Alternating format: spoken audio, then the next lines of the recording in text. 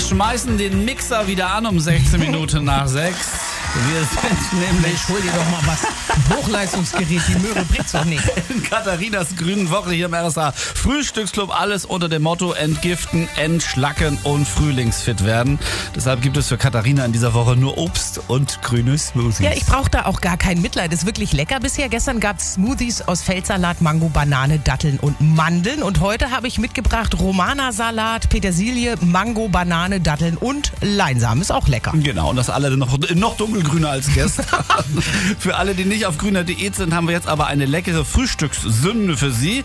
Aus dem leckersten Bundesland der Welt, genauer gesagt aus Lübeck. Bei uns ist Gabriele Thiele, Erfinderin der Lübecker Marzilade. Eine Mischung aus Marmelade und Marzipan. Wie ist denn die Kombi zustande gekommen? Eigentlich war die ganze Marziladengeschichte ein klassischer Unfall in der Küche. Durch den Umzug musste ich meine Truhe leer räumen und habe eine Erdbeermarmelade gekocht mit meiner Tochter zusammen. Und von einem missglückten Praline-Herstellungsversuch lag da noch so viel Marzipan rum und das musste weg und so ist das zustande gekommen.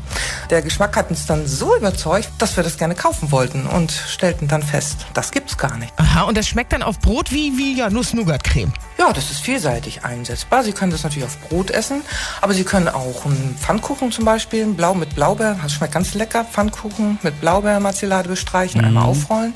Schmeckt ganz toll. Also oder so ein Crepe. Man kann es auch in Torten äh, als Tortenfüllung verwenden oder auf, ähm, als Eistopping. Also da gibt's viele Möglichkeiten. Und die Marzilade kommt gut an. Haben Sie viel zu tun? Ja, im Moment können wir uns kaum retten. Also wir haben den Innovations- und Mutmacherpreis der Lübecker Nachrichten gewonnen. Wirtschaftsminister Mayer hat uns den Preis übergeben. Das ist ja eigentlich eine, naja, sagen wir mal, eine einfache Idee. Herr Mayer drückte das so aus, ne, dass das häufig sind es die einfachen Ideen, wo man sich hinterher fragt, warum habe ich es nicht selbst gemacht.